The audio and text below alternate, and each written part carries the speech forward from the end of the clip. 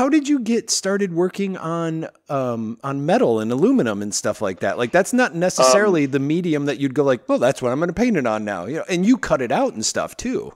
Yes. Um, yeah. So it's like an it's alu panel that I'll get. So it's two real thin pieces of aluminum surrounding a like a plastic core, and I liked it because for a long time I had been painting on uh, two types of wood, and so I was taking masonite and MDF and fusing those together. And then I was cutting the shapes out of that. Um, very, very big and heavy pieces. And when I can when I can use some aluminum and then I'll put a backing structure in sign foam. So everything is very industrial. The pieces I'm doing now can go outside if if that's what the client wanted, or they can stay inside and mm. they'll be totally just fine in either place.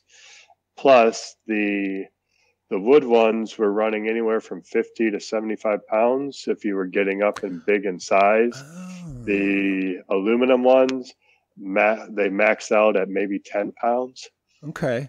And for a big, uh, I'm talking a good 50 inch diameter piece, and can be between 10 and 12 pounds when that is totally done. So shipping is uh, so much better, huh. and the strength is actually better too. Plus, it's a nice smooth surface too. And I use enamels these days. And I was just going to ask, um, how does the paint adhere, and what type do you use so that it doesn't first yep. so that it gives and takes too, as well? Because aluminum can still kind of bend a little, right? Well, uh, this is um, yeah, it can bend a little bit, but it's a three millimeter. Mm-hmm. So, and there's two pieces of of aluminum. And so on the back, hang on one yeah, second. go grab something. I want to see it. All right. So here's here's one that I'm working on. And so the, this has been cut out. So yeah. there's there's different different holes in here. You can see that. Um, so they're thin, they're an inch wide. Yeah. And then on the back, I have these different, this is a material called sign foam.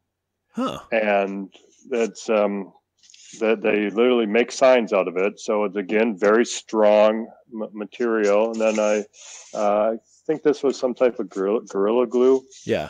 That I used, and so, but again, really light.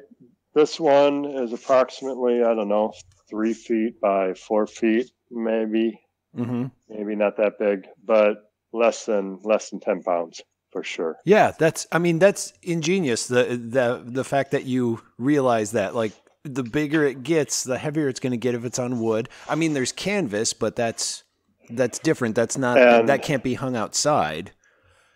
Huh. No. And the the canvas I've painted for years, and I have a canvas going right now that I started with spray paint, and uh, just to try something different. Right. Yeah. And I've got a, a, little hallway full of old canvases from grad school and throughout the years. But um, I always I got into the wood because I like the surfaces being this, and I got in let me back up. I got into using the wood because it was nice and smooth. Mm-hmm. Because I switched from using an oil base to using an enamel based paint. And I really responded to the shine of that enamel paint okay. going on the surface. And it's, and I started off on canvas using enamel, and I had, um, a learning process occurred because the texture of the canvas made it a little more difficult to work with the enamel. Mm-hmm. And so that's when I switched to the wood and having the nice smooth. And then from there, the aluminum. Wow. Which is also um, not, uh, it's not as messy as cutting out um, a big piece of uh, MDF board either. Right. So, well, and how do you, how do you like, plan that out as well because you have different with the way that mm-hmm. it's drawn and all that like you have holes cut in the middle? Like, are I'll you cutting it first? And, yep. Yeah. So, so I'll go through and I will um, either use an old drawing that I have, or I will design a drawing um, either in hand or on an iPad using Procreate. Okay. And then I will take either the picture of the pencil drawing or just hook the iPad up and I take a projector and I'll blow I'll blow the little drawing up and so then I will I will get the outline and then from there I will go and start cutting out and Okay.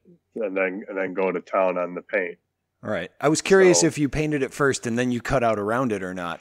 No, no, that um, I have taken it off the wall and corrected mistakes in Oh. wh- where I s- where I see and I'll cut, but the surface of the paint always gets a little marred Mm, in doing sense. that, and so I, I end up having to repaint the whole area to get happy again. hmm So I I try to get all of the cutting done at once.